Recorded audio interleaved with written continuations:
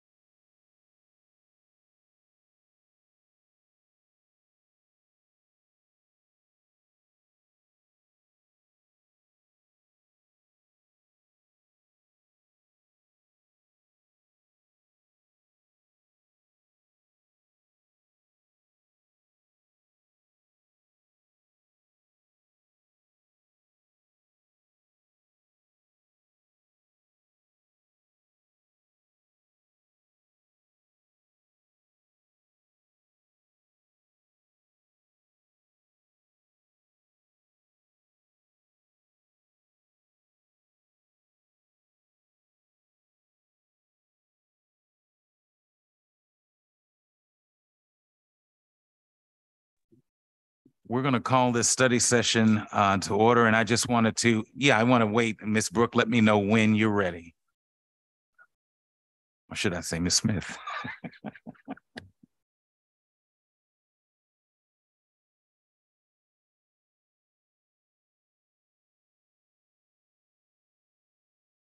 And We're live. Thank you. Thank you. Good evening, everyone. This is, um, I wanted to welcome you to the City Hall here at 6801 Delmar Boulevard. This is a study session.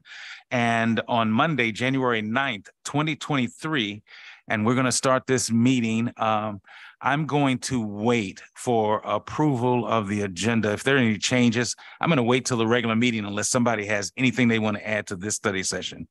And if not, then we will move forward and open this up and I'll turn it over to Mr. Rose. Honorable Mayor Pro Tem Smotherson and council members, tonight I ask that you receive a presentation from the Commission on Stormwater Issues regarding the historic flooding that occurred on July the twenty-sixth of two thousand two and again on July the twenty-eighth of two thousand two. Uh, the stormwater will be uh, presenting information on their review uh, of that historic flooding event. So I will turn things over to the commission.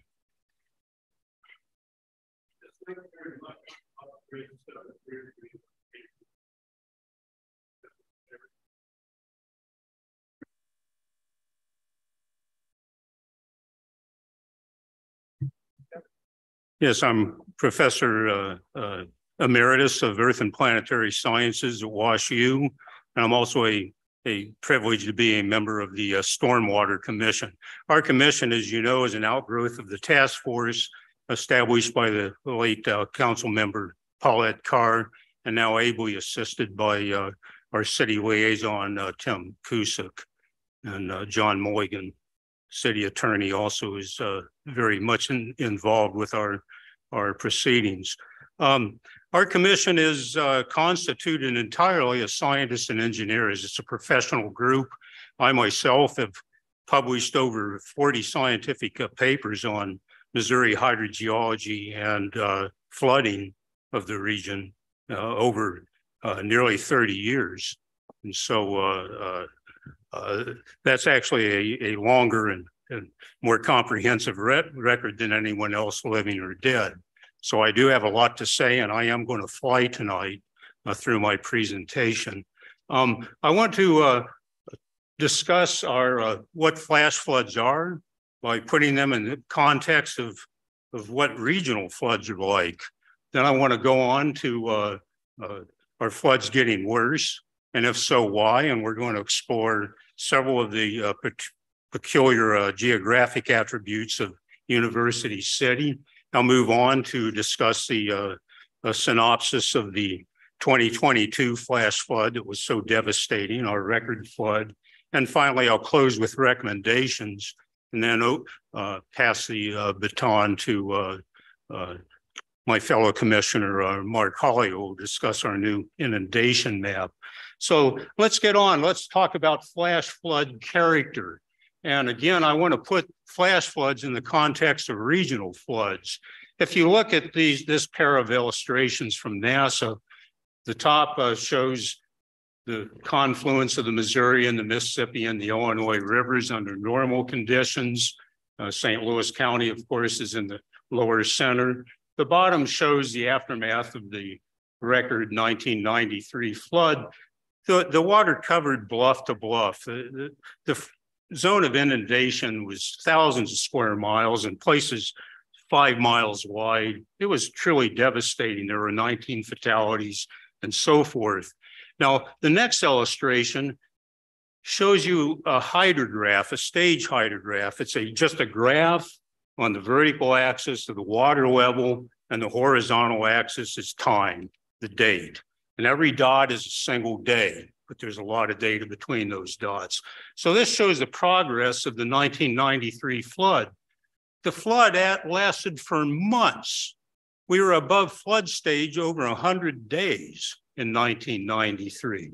The water rose some uh, 19 feet in, in 27 days in the most uh, severe part of the rise. And the uh, uh, flow of the, the Mississippi River here at St. Louis, this is the St. Louis gauge, went up a factor of nearly two and a half during that interval. So this is how a big river floods normally. And you know what? A box turtle could outrun this dang thing. It's only going up a foot a day or even less.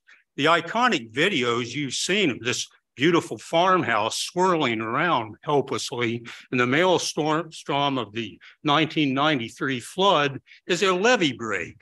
It is not normal flooding. This is the progress of normal flooding.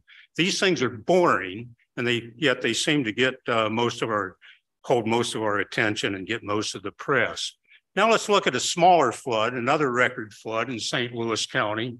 This is the uh, a flood of of late uh, uh uh, December 2015 and early 2016. And I'm showing a pair of photos. Uh, uh, one's a, just a Google Earth shot from satellites of uh, Valley Park. And the one below is an AP shot showing the inundation uh, near the Meramec River uh, during this interval of time. Let's look at this record flood how it badly impacted us. Well, here again, we have a hydrograph stage versus time for this particular event. Again, I put dots on the, the hydrograph to, to count off the days. We were above flood stage for uh, eight days during this event. Uh, the water level increased 26 feet, but it took four days to do it. And again, we had an interstate flooded and a lot of damage and so forth, uh, mostly because we built in the floodplain. But again, this is the rise. The, the flow went up, I think, a factor of five during this uh, sharp interval of sharp increase in the water level. Now let's look at a, a third re record flood, which is of Deer Creek, our little creek just south of us. Uh, not, not the river Des Peres, but it's the next basin to the south. We had a record flood in 2008 that remains a record flood throughout most of the basin. Now, the top shot I took to reproduce the bottom, the photographer's location in the bottom, the top shot's looking southward along McKnight Avenue, uh, just uh, south of, of Interstate 64. And the bottom shot shows what this uh, region looked like in, in the morning of September 14th, 2008. Now note that the creek bottom is 17 feet below the bridge deck at this location. So what happened? What do these hydrographs look like? Well, here's the first couple of weeks of September in 2008, and you can see multiple flood pulses. Every time it rains sharply, the creek rises sharply, then it goes back. The major pulse, the third one on the right, uh, shows the 2008 record event. The water level increased 20 feet in seven hours the flow went from five cubic feet per second to over 10,000. It went up a factor of 2,000 in seven hours. And by the end of the day, it was gone. It's incredible how sudden these things are, how quickly they hit us. The stage rises are almost as great as they are for great rivers, but this, these things can happen overnight and the consequences are severe. This, this particular flood killed two people in U City. The 1993 flood lasted months and covered thousands of square miles and who knows how many dozens of states, and it only killed 19. The damages per square mile, the fatalities per square mile for flash floods are vastly more severe than they are for regional floods, and they are of particular significance for University City. Now, so flash floods in small basins, they develop very suddenly with very little warning. They occur frequently and close to people. Not, this isn't the mosquito flats down by the river. This is right in the heart of our neighborhoods. They cause large damages and fatalities, most of which are vehicle related. They feature large sudden stage increases that are comparable, a little less, but comparable to those of large and large rivers. Uh, the peak flows, however, unlike large rivers, are thousands of times normal flows. That flow of 10,000 CFS I showed you at Deer Creek, that's three times the flow of the Meramec River. That's bigger than the average flow of the Kansas River. It's a seventh as large as the Missouri River, roaring right through our neighborhood in the morning. And then it's gone. And finally, our estimates of how frequently these things occur and how bad they are are horrifically off. I've been discussing this, attempting to, for many, many years. Um, so are floods getting worse? And if so, why? Our records of uh, uh, inundation on our small creeks are not uh, long enough to really get a good statistical uh, grip on if floods are getting worse. We only have uh, 25 or so years of record. Uh, and it looks like they're getting worse after all. In U City, we've had pretty bad flooding in three of the last four years. Uh, uh, so they probably a case can be made if you do the statistics in a robust way. You'll just find there's a weak trends, but they're not as as statistically robust as you might wish to believe. On the Mississippi River, we have records back to the beginning of the Civil War every day. And that's what I'm plotting up here. Just and I've plot, made a plot out of a huge spreadsheet, daily records back to 1861 of feet above flood stage, right down at Laclede Station, right at the arch versus time. Now, most people look at this graph and they see a trend. Uh, most people, except perhaps the Army Corps of Engineers, doesn't seem nothing here. But uh, most people see a significant trend that since World War II or so, we commonly see water levels that were unheard of a, a, a hundred years ago. And they happen quite frequently, many times in the last 10 years, we've had horrific water levels, as you can see on the graph. So floods are certainly getting worse. And many people want to attribute this primarily to climate change. I think that is a factor, particularly on our smaller creeks, but the main factor here is river constriction. The Mississippi River is half as wide as it was historically. All the islands and sandbars and things that Mark Twain discussed are gone. This reduction in width by a factor of two is true all up the Missouri River, clear across the state, all the way to Sioux City, Iowa. So for a thousand miles, we have squeezed the rivers. And just like building plaque in your arteries, your blood pressure is going to go up and you're going to have a heart attack. This is flow restriction. Narrowing the rivers makes the floods higher. It's simple as that. And I number among several academics that have been trying to explain this and change our regional outlook on how uh, rivers are managed for many, many years. Now then, how about U City? We also have flow impedance. We have an incredibly restricted and channelized uh, River des Peres. Over half of its length is cement line, cement floor, concrete walls or stone walls are in the lower left. The upper River des Peres runs into a tunnel, which we just saw was horrifically undersized because it was all overtopped in the last flood. We have many undersized bridges that I pointed out years ago, and a lot of those get further clogged with debris during flooding. So the water's got to go over the top. In the, the lower right, I'm showing the Hanley Road Bridge and all this debris clogging up the bridge. You can see the, the leaf line on the fence. It's nearly four or five feet high. The water went right over the top. Every bridge except Olive was overtopped in this flood. The Olive Road Bridge uh, was almost overtopped uh, during the last flood. So let's look at University City. Uh, we're currently located right in the around the bottom of the slide, bottom center right, uh, right at the bottom. Uh, but you see the River des Peres running along the center of the diagram. You see how it's uh, like a cookie cutter,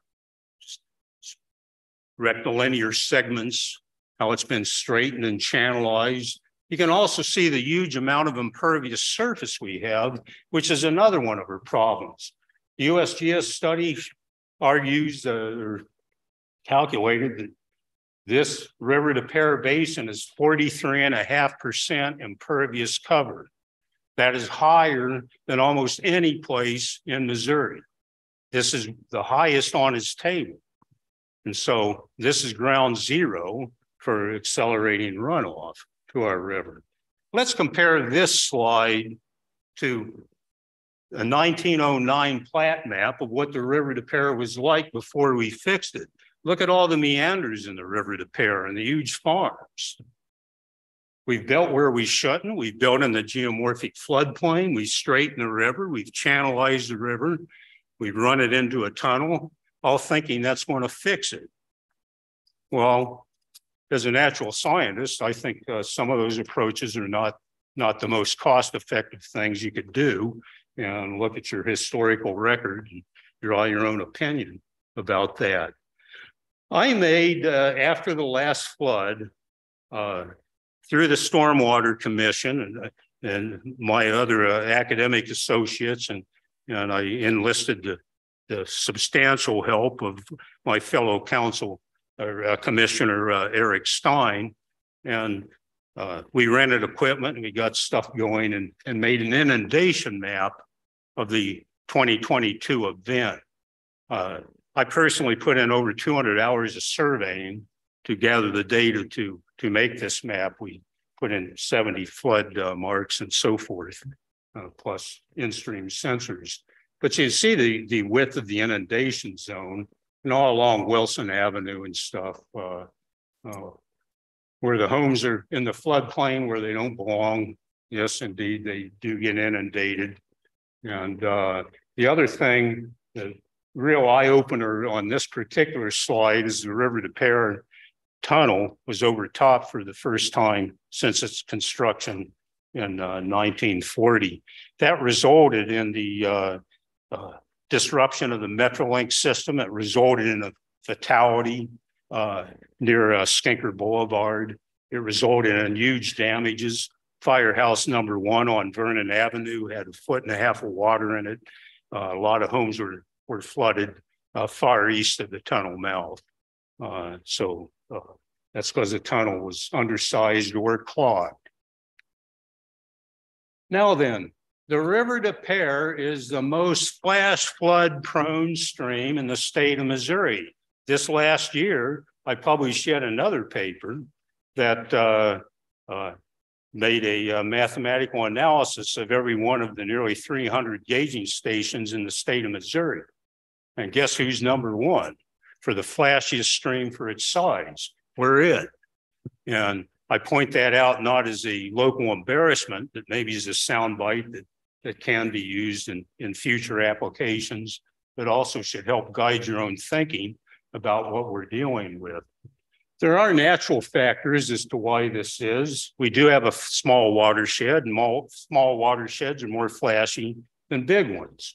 We do have a west to east uh, uh, geographic uh, morphology of the basin, so it's kind of along storm tracks and so forth. Uh, there are human factors, though, that uh, outweigh the uh, natural factors. We have a really high impervious surface coverage, something should be, we, we need to do more thinking about that. We've channelized and straightened our stream. Lost our natural storage capability. Storm sewers convey water to the channel very rapidly. Uh, we've destroyed our riparian borders. We have undersized and clogged bridges in a poorly maintained channel. We've constricted our floodplain. So, and we built where we should not, which amplifies damages and, and amplifies flood levels. Climate change is also a factor. We may have be having more intense storms more frequently. Uh, I think that's certainly a factor, but the human factors that are within our control are far more important than just blaming climate change on, on our woes. Uh, so there's plenty, uh, plenty we can do. Um, your fellow commissioners, we're ready for this one. I've I spent my life uh, measuring and studying natural systems with real measurements, and uh, uh, Commissioner Stein and I, with with uh, funding from U City, established three rain gauges that are part of our early warning system. I'll talk a little more about in a moment. Uh, we also just in March, the early warning system was put in, by the way, and fully operational by October 2021. And working just fine. It's all calibrated and stuff. Uh, everything's uh, really good. Uh, we also in in in March, and this was funded by the city, I recommended we put in a network of in-stream sensors. And holy cow, we put in nearly nine sensors clear along the River des Peres Channel and happened to catch the biggest flood in history with all these sensors all the way from, from Dillman Road to, to uh, Pennsylvania Avenue. And I think we ought to even get more. And finally, when studying the 2008 flood, uh, colleague David Nelson and I in California, he's a fellow geophysicist, grad student buddy years ago. Uh, we developed protocols and an inundation map for the 2008 flood, but we knew what we needed to do. So uh, surveying flood marks, you can see in the central shot, there's Eric Stein. You see the leaf line on the fence.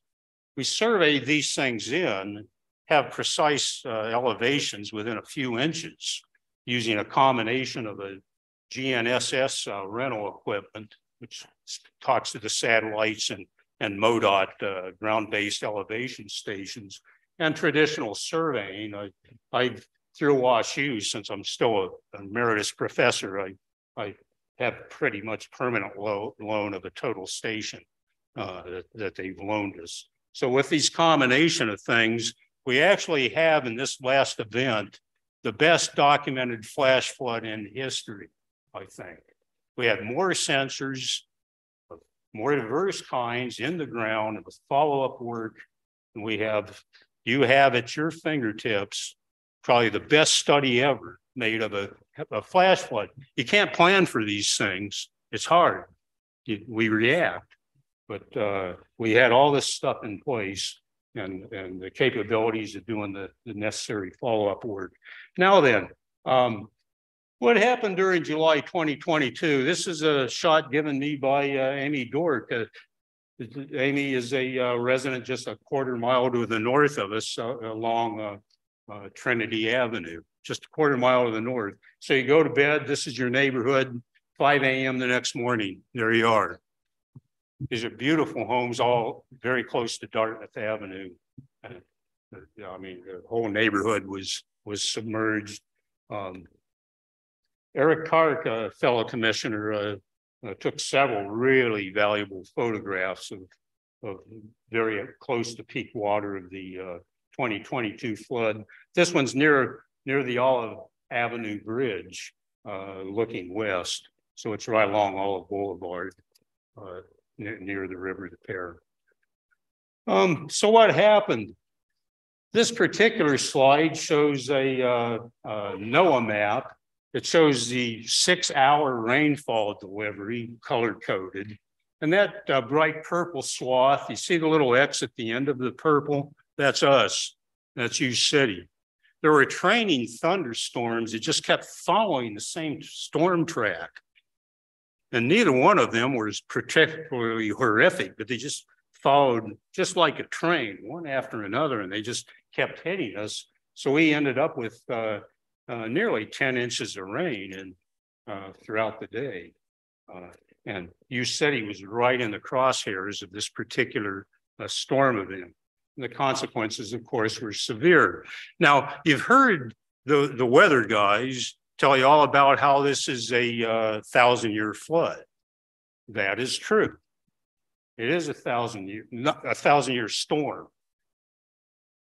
If you look, this particular uh, slide is a uh, NOAA graph showing rainfall intensities uh, for different recurrence intervals. This is on the uh, left vertical line, shows you the return things.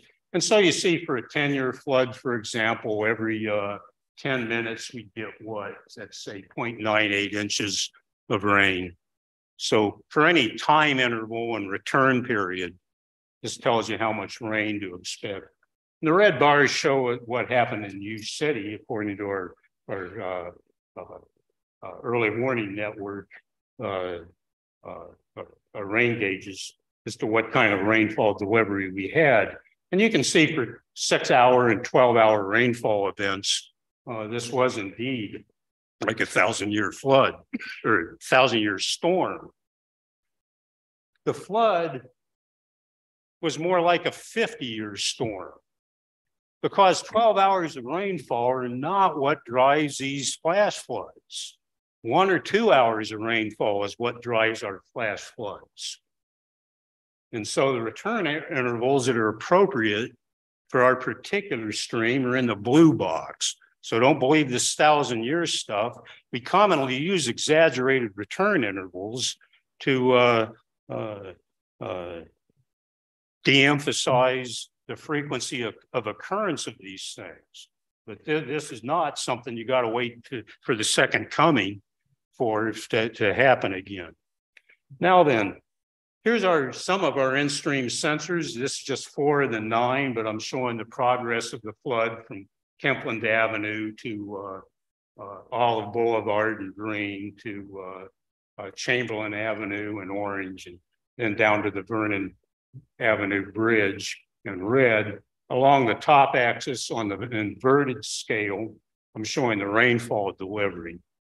So here's the thing. This is again just hydrographs, but at four different stations for four of our in-stream sensors from upstream to downstream. You can see the flood came like a monster. This peak water progressed downstream, but very quickly. Look at the sharpness of that rise. It didn't start raining hard until one o'clock. Look what happened by two o'clock. We only had two inches of rain by then. Yet most of the rise of the river happened before 2 a.m. And then with the continued rainfall, yeah, it added insult to injury. But uh, you could see the sharpness of the rise. Starts raining at one, rains hard, two o'clock. Wow, kabam all the, our in-stream sensors are telling us the same thing. So don't believe this uh, nine inches of rain stuff. The, the rain that got us is the first little blip on the, the black line on the far left of that diagram. Just a few inches of that nine inches are what caused the, the majority of our flooding problems for this event. Now, uh, this is a, a FEMA's diagram. It's a cross section now of, of height versus distance upstream. Uh, for the River des Peres, the bottom line is the creek bottom, and the other profiles kind of parallel to the creek bottom uh, show the supposed water elevations for a 10, 50, 100, and 500 year flood. Uh, the tunnel mouth is clear at the uh, left end of the the uh, scale. So this is what FEMA thinks had happened. This is what happened. The red line is from our survey work and our in-stream sensors. And you can see uh, further upstream, like at Groby Bridge, this is more like a 10 or 20 year flood, according to FEMA. You move downstream, becomes more like a 50 year flood. Further downstream, 100 year flood, near the tunnel mouth, it's more in a 500 year flood. So, first of all, models do not do a great job. Reality is a far more informative than models. And the reason we had such bad inundation uh, near the tunnel mouth and along Vernon and, and Dartmouth Avenue is because indeed it was a horrific event there, but it's because of the inadequacy of our structures or they're clogging or the system being overcharged or something, that, that does require further study. So summary, the 26th flood, it uh, intense summer thunderstorm, most of our flooding occurs in the summer.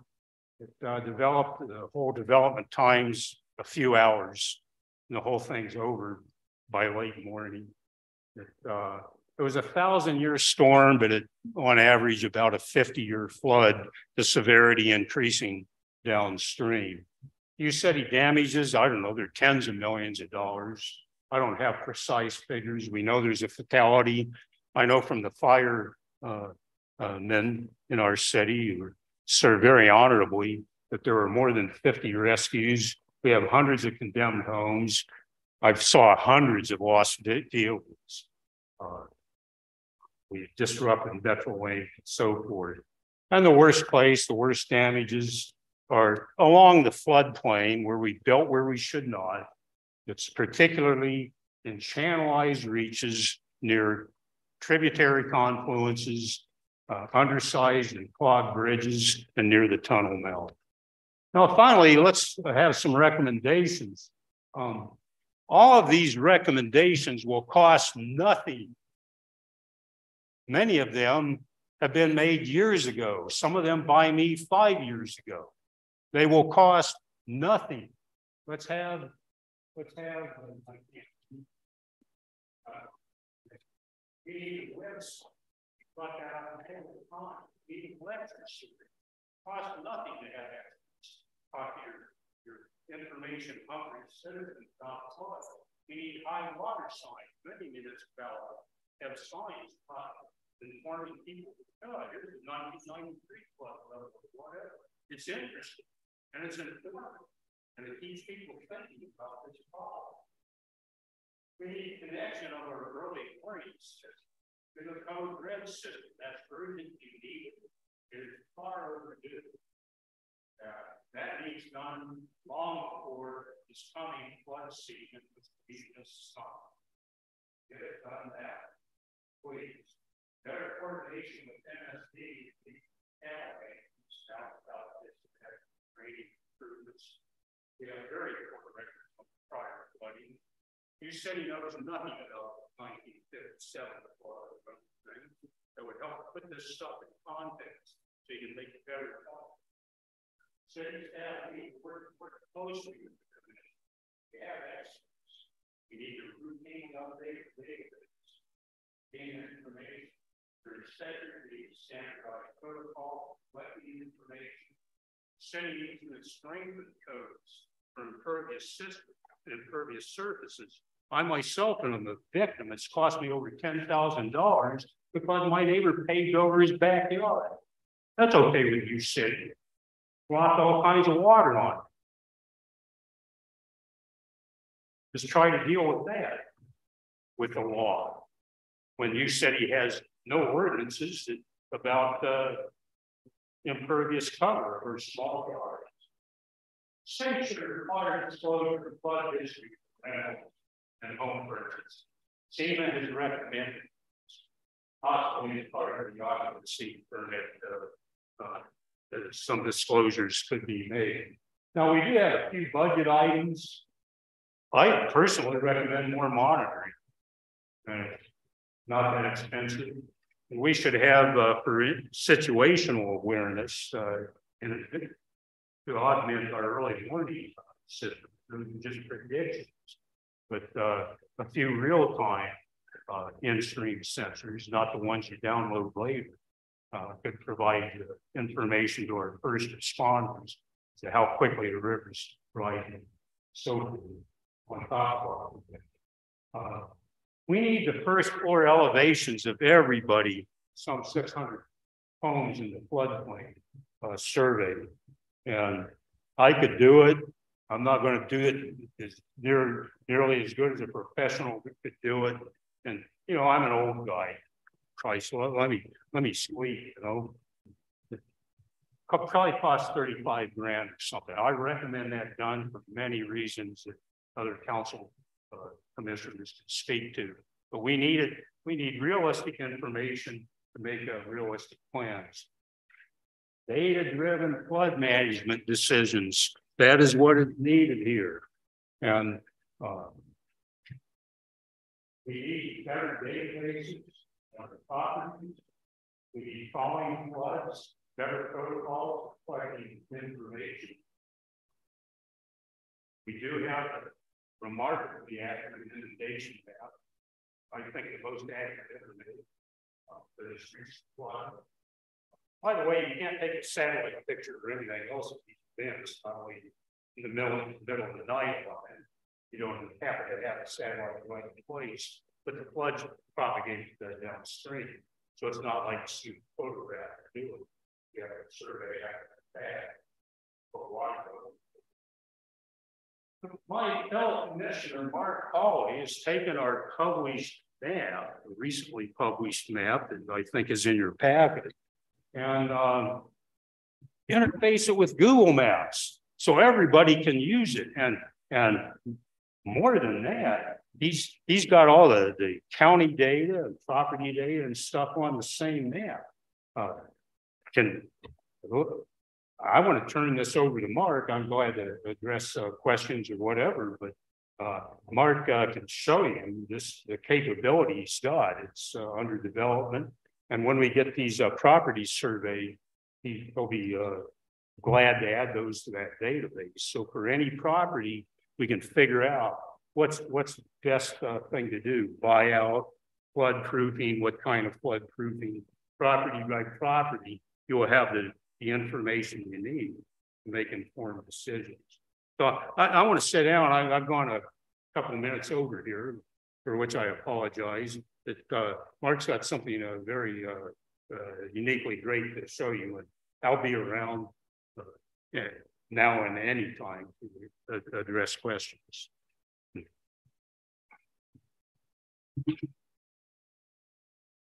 Thanks, Dr. Criss. I wanted to acknowledge Dr. Criss and Eric Stein once again because they put in a, a lot of sweat equity in acquiring that data. For uh, uh, what what they didn't mention was those sensors or loggers in there, you know, on the bottom of the the stream bed. So in order to collect the data, they got to go back down and get in the river and and then scan those for the data that was collected real time. so we're not talking about, you know, a, a uh, really high performance web-based thing. They have to do it with sweat, sweat equity.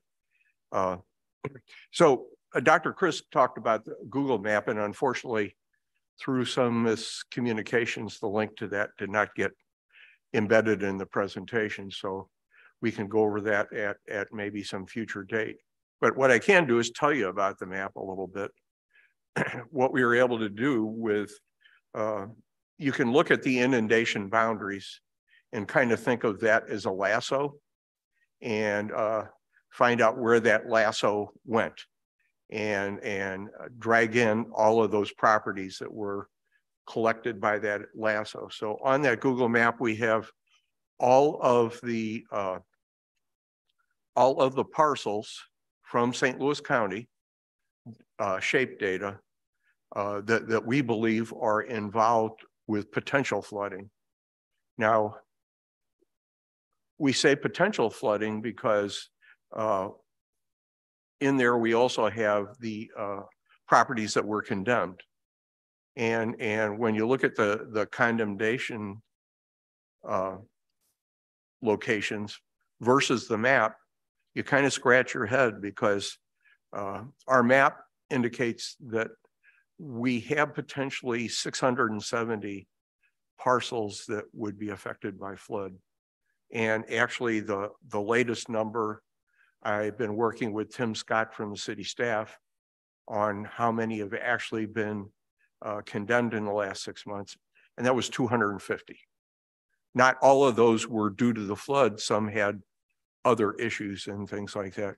But roughly, you know, say 230 to 250 properties we suspect have uh, been affected by the flood. For instance, you go on Dartmouth, there are no condemnations along Dartmouth there.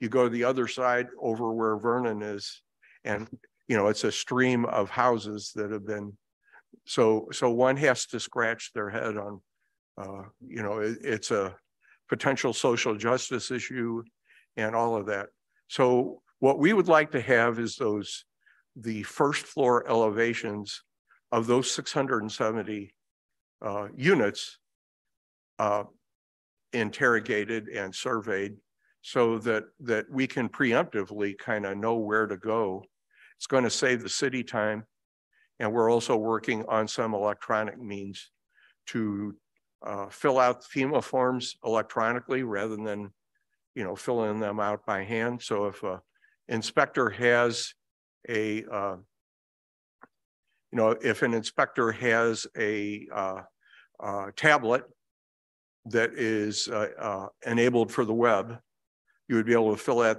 that form real time while you're standing there, have a complete form, upload it to the web, and we'd have the data, and it would be logged for the future.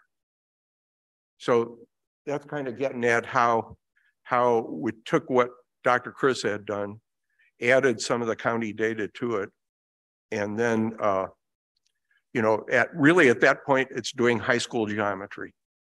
And, and uh, so we think we have a pretty good handle on what the potential flooding situation is and uh, what it really means to the city. So I'll, I'll shut up from here unless there's any questions from anybody for any of us. Okay, thank you. Okay, are there any questions by, uh, from the council, uh, to Dr. Criss and, um, Commissioner Holly? Any questions? Councilmember Clay. Thank you, Mayor Pro Tem Smotherson. Um, and let me thank um, our Stormwater Task Force, certainly Dr. Criss, um, for for this presentation. Um, I, I think you you articulated this, but I, I just want to be clear about it. If you had to pick the most important thing that the city could do from the non-cost and candidly there's always kind of cost associated with everything, but the non-cost uh category and the cost category, what would be your number one thing in either category? Number one, and most urgent, is the connection of the uh, warnings that are routinely issued by our our uh, early warning system with Code Red. That that needs done uh, immediately. Okay. The uh, other thing is that uh, public outreach, getting more information. Flash floods are not understood. They just all the time catch us by so much by surprise. They do kill a lot of people. They cause enormous property damages. They're severe here in U City. This is the worst stream in the state. We are most impacted.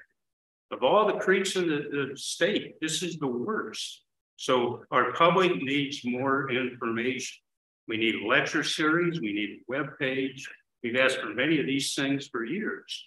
We've asked for uh, high watermark signs, uh, have a memorial plaque to uh, uh, flood victims where they died. People stroll through the park, let them see what the water levels were, what happened. People are unaware. You know, if scientists and people try to tell them, but we have too few opportunities to convey necessary information. That can be fixed immediately. Thank you. And can I continue, Mayor Pro Tem?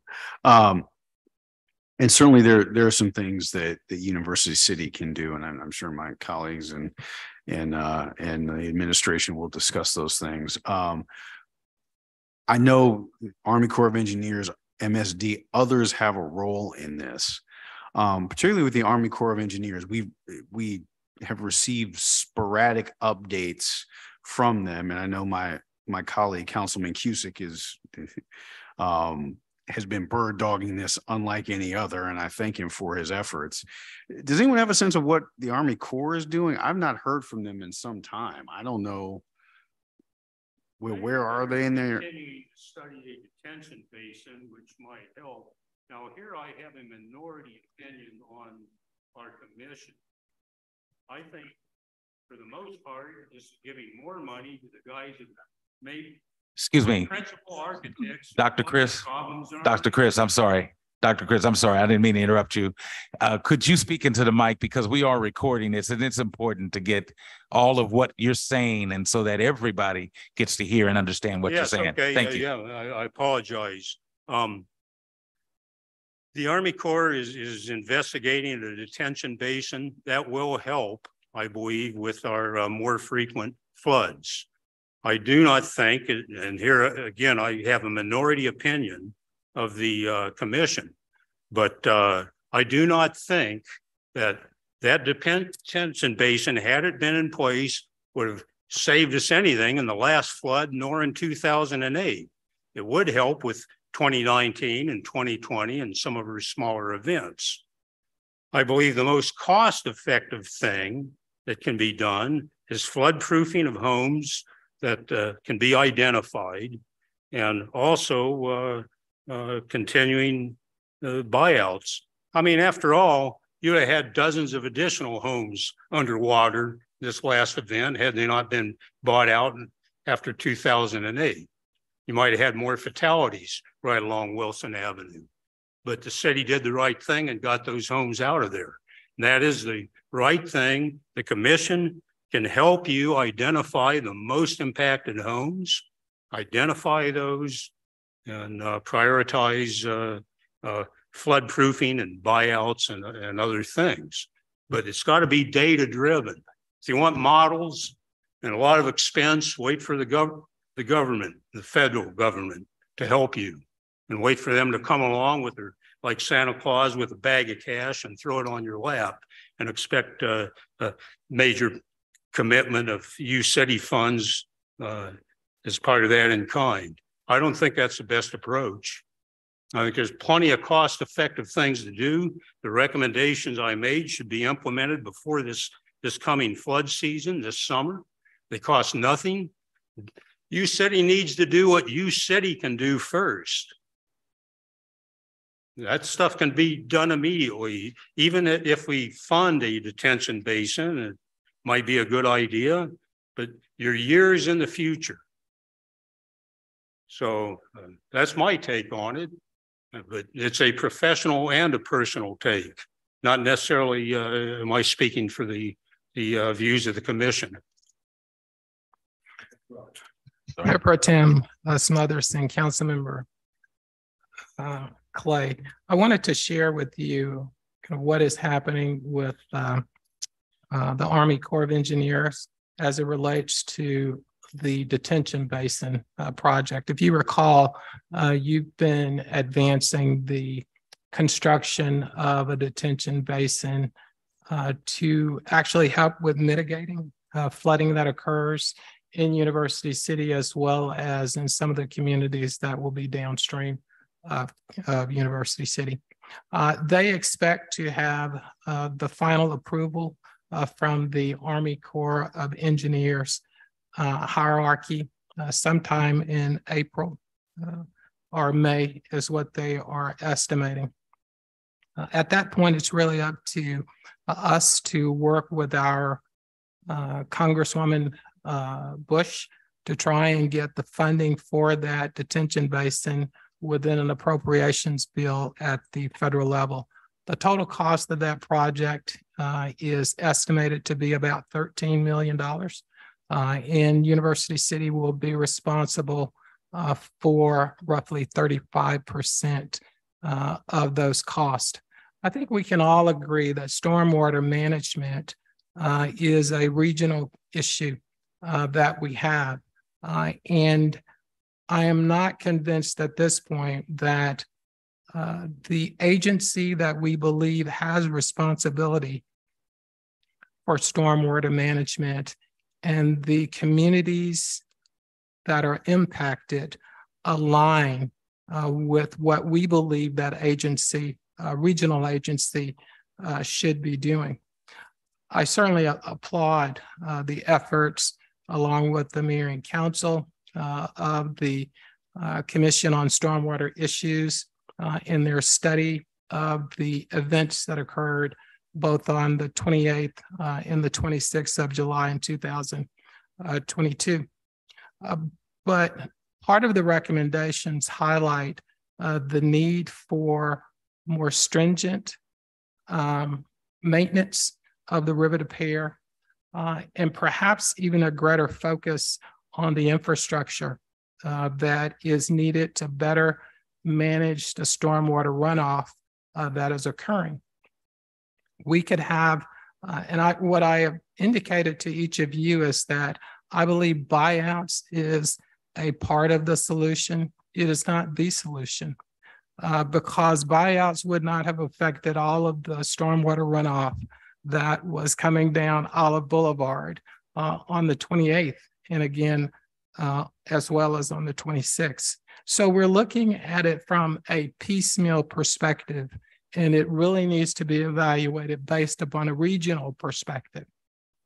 How do we have infrastructure in place that addresses stormwater runoff, not just in University City, but throughout our entire region? Certainly, we have responsibility, and you as a council, for uh, stormwater runoff that occurs here. And you are taking steps to try and help mitigate that. But again, that is not the solution. It is part of a solution, but it's not the solution. It's a much broader issue. Thank you. Okay, thank you, Mr. Rose. Um, are there any other questions? Councilmember Cusick. Thank you, Mayor Pro Tem Smotherson. Dr. Criss, I would like to, um, as they say, poke the bear. Um, you, it was, we, uh, if you could step up to the microphone, because I want to talk about the Army Corps of Engineers. And your last page of your presentation, you talk about data-driven flood management decisions. But I just would like, even though I know and you know, I'd like some elaboration for those listening on the difference between what the current Stormwater Commission for University City is doing with their information, which is data driven, versus what we've been getting from the Army Corps of Engineers, which is just simply modeling. Um, would you just make some generalizations about that and how that is going to help us for in the future? And with the modelization uh, procedures that the Army Corps of Engineers uses, would that have helped us at all in the in? Well, it wouldn't have helped us with the flooding, but uh, does it help us at all in being prepared for future floods? The only way to understand a, a natural phenomenon like this is to study the natural phenomenon itself. The Army Corps presents only models. They've never walked the river des Peres. They've made no measurements. They run computer models. The FEMA uh, profiles I showed you, which is FEMA 2015, is identical to the HUD profiles of 1977, which I can demonstrate. There is no difference. And these updates of models, uh, the models had no semblance to the red line I showed you on the graph that just happened. The models the Army Corps recently assured us by their uh, modeling that that the uh, flows measured by the USGS would have easily gone in through the tunnel, and the tunnel wouldn't have been overtopped, and we wouldn't have had the Metrolink flooded, and we wouldn't have had a fatality, and we wouldn't have had a firehouse flooded, and all those homes downstream of the tunnel mouth, and we wouldn't have had five water at just a, a, a, a on the streets and in some of the homes just a quarter mile north of us. So real data is the way to solve a problem. And I can offer that. I have a lifetime of doing it. And that's my approach. I do not believe that modeling is the best way to do things. And isn't modeling what the Army Corps of Engineers bases most of their uh, Absolutely. Uh, they, they made no measurements. I've made thousands of measurements. I've walked the river Des Peres. I've made hundreds of isotopic measurements. I had in-stream sensors uh, and water samplers in the early 2000s that were permanently collecting water data for isotopic and chemical analyses of the, the river Des Peres. I've looked at the thing for years you got to get down there and look at it to see what the problems are. You know what? I pointed out years ago that the the Pennsylvania Avenue Bridge is undersized and that there's a big sandbar right in front of it, which exacerbates the problem. I pointed out by survey that the Groby Bridge is undersized. Right now, there's a huge tree trunk stuck under your undersized bridge. How would you know? You think the Army's going to tell you? They're not down there. I am. And then while you're on the subject of being down in the river and looking under the bridges, one of the things that you stated earlier was that we needed we needed better management because we currently have very poorly managed channelization of the river des Peres in our area. What actually can be done? And, and I do see that we're running short on time, but what what could be done to improve that situation? Well, debris clogging of the bridges is the uh, biggest problem. They are the undersized, most restricted parts of the, the river. And uh, But the biggest problem you have is accelerated runoff delivery with impervious surface and storm sewers, plus an undersized channel that impedes the flow. So it piles up. And maybe there's a problem with the tunnel mouth. I advocate immediately funding additional sensors to get one in there to at least start collecting data on what its uh, uh, conveyance really is for different storms and water levels. That's going to be data driven. The modelers told you there's no problem. So take what I'm telling you. I, I was I was there and looked and there was a problem. And then finally, the there was some question that the the tunnel did not handle the uh, rain runoff as it should have at the end of July. Was there something wrong with the tunnel, or what do you want to? What kind of comments would you like to make? it needs to be looked at. This this needs to be studied. Whether I can figure it out, I don't know. The tunnel could have been simply overcharged, but the heavy rainfall uh, terminated just uh, southeast of us. And so I don't know why the tunnel would. Uh, but the I don't know if it got clogged. I don't know. I do know that there was reports. Uh, uh, Commissioner Stein reported a big tree falling in the in the channel. Uh, the couple weeks before the storm, nobody did anything about it. This big debris can clog our bridges, could clog the tunnel mouth. I don't know what happened. I don't But have the- a crystal ball, but I, I think we ought to start looking. the tunnel should should the tunnel have been able to handle the flow According to the modeling, according to and the the only, modeling? the only way to figure it out is with measurements and see what it really does. Not believe in a model. Real data are the final arbiter of, of, of reality. But thank, thank you for the question. Thank you, Dr. Criss, and thank you to the other members of the Stormwater Commission. And I'd like to add that the, all of the commissioners on the Stormwater Commission, we owe our thanks to them because they have put in hours and hours and hours of blood, sweat and tears, as well as plunging through those rivers and the data that's out there. And um, I'm just so impressed with the work that all of the members on this commission have done. Thank you. I wanted to thank you also, Dr. Criss and and and Commissioner Holly and the Stormwater Commission uh, for the work that you've done. We're going to adjourn this meeting at, and the correct time is six twenty-seven. We're going to start the council meeting, uh, I would say, as soon as we can get back and uh, and prepare for that. So we're going to try to start as close to six thirty as we can. Thank you.